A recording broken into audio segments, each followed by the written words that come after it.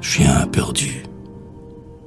Quand s'étant coiffé de son haut, il partit pour venir ici. Bismarck suivit le roi Guillaume. De le suivit aussi. Les princes aussi les suivirent.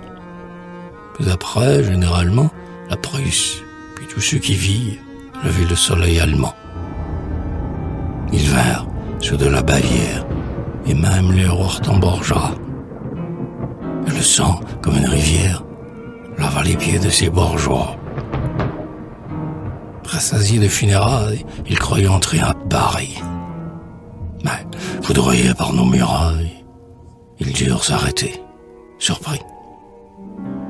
Mais, savourant parmi ces drames tout l'ennui qu'on peut éprouver, ils écrivirent leurs femmes qu'elles vinssent les retrouver. Alors, vers leurs lèvres gourmandes, pour mettre un terme à leurs tourments, vers les femmes allemandes, avec les petits Allemands. Puis, lorsqu'en vain ils essuyèrent les écuelles d'un air câlin, les chiens prussiens s'ennuyèrent. Ils vinrent aussi de Berlin. Espoir des futurs holocaustes. Moi-même, j'en vis quelques-uns flâner jusqu'à nos avant-postes. Des noirs, des jaunes et des bruns. Un surtout. Ah, si triste.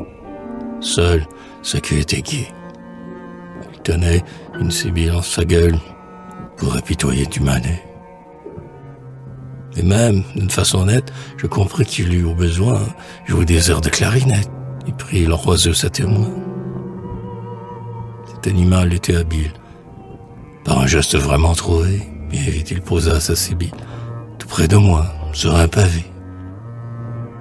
Pauvre chien vagabond, lui dis-je. Que veux-tu Dis, que te faut-il? Ma soudain, au rare prodige parmi par quelque dieu subtil, j'entendis parler ce caniche.